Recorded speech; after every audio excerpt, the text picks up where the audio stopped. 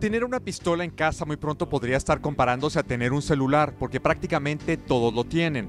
Se estima que hay 270 millones de armas en manos de estadounidenses comunes, dándose por hecho que 124 millones de ellos viven en una casa armada. Si esto les sorprende, ahora resulta que ese país vendió tan solo en 2011 un total de 66.300 millones a países aliados del Medio Oriente.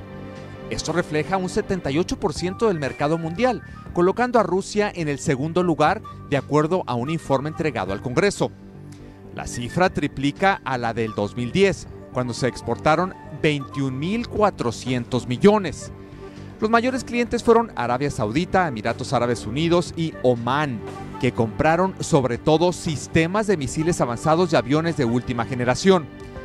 Y volviendo a las armas en Estados Unidos, existen 90 armas por cada 100 ciudadanos, muy por arriba de Yemen, que ocupa el segundo sitio con 61 armas por cada centenar de habitantes. Esto de acuerdo al Instituto de Estudios Internacionales de Ginebra, Suiza.